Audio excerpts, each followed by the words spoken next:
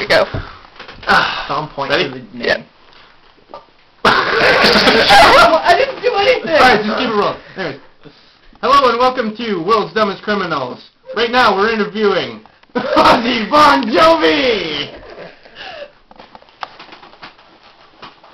Rock on.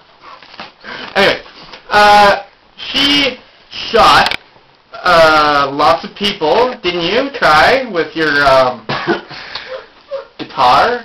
the bass and it, yeah because Judas Priest did yeah um, okay so I, was like I wanted money because like I wanted to go to that Winger concert but I couldn't afford it and um yeah my mom kicked me out of my house because I'm um 27 and she, she said I should I should get my own place and so yeah and um so I went to the bank with my guitar and I was like, yeah, Judas Priest, they shot people with guitars and stole money. So I, I, I, I ran, in with, my- with my bass and um, I, I, I tried to shoot people but it didn't work. And yeah, and then, then, then um, I, I went ahead and I tried to go break into a vault.